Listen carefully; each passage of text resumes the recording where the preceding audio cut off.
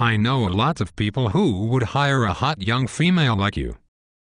You have both looks and brains. Thanks. I really need a job. Who would have thought they would fire the only one here who knows what they are doing? Yes. It's a mystery. The fact that you put a poisoned sandwich in the refrigerator to punish whoever ate it doesn't make you a lawsuit waiting to happen. Management overreacted. Anyway, this whole place is going down the toilet.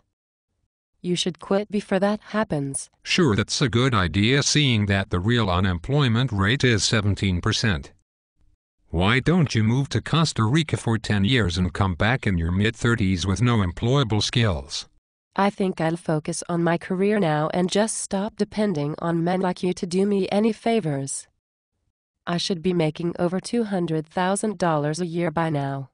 This is the island of Manhattan, not Fantasy Island. American Express paid me $100 for a one hour survey about my shopping habits.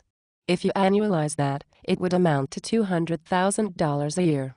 Perhaps you should change your medication. It's making you delusional. I'm not listening to you. You always sabotage my success. Since the only thing you can do reliably is ovulate, I can't recommend you anyway. I went to Carnegie Mellon. I can get any job I want. You tried to poison me. You should have been punished with jail time. Laxative is not a poison. You've screwed me over with your big mouth.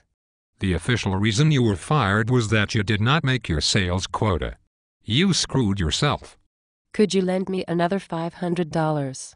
I think you owe me at least that for ruining my life. I've already lent you hundreds of my after-tax dollars in exchange for some implied sexual favors. But I've got zip, zero, the big donut. You are crazy and disgusting.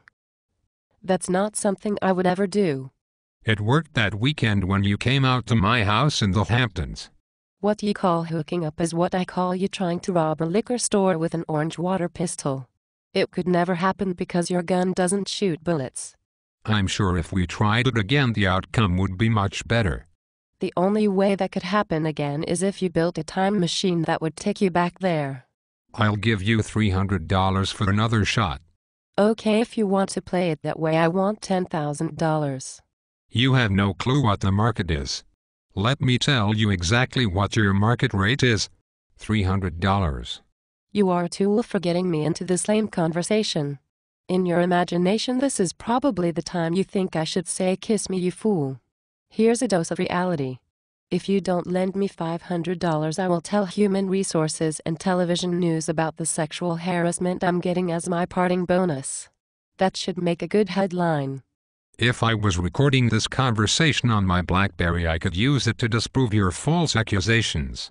Well, I am recording this on my iPhone and it will be indisputable proof of you soliciting sex for money from an appalled co-worker.